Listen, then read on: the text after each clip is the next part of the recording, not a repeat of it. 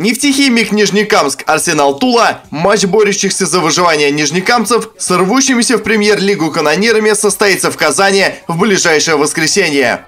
Соперники решают в сезоне разные задачи, но очки как воздух необходимы каждой из команд. Кстати, ответный матч состоится ровно 7 месяцев спустя после встречи Арсенала и нефтехимика в Туле. Вечер 23 августа 2013 года выдался жарким. Канониры добыли непростую победу 2-1.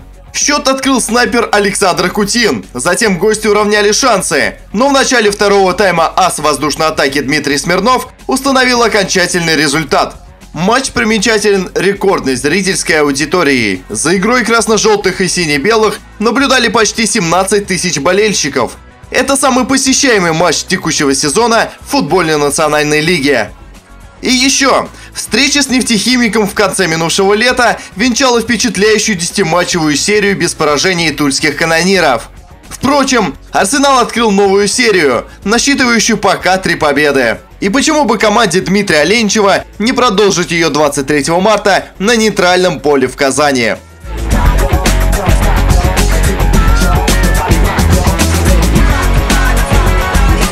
Как всегда, все подробности матча на клубном канале Арсенал ТВ.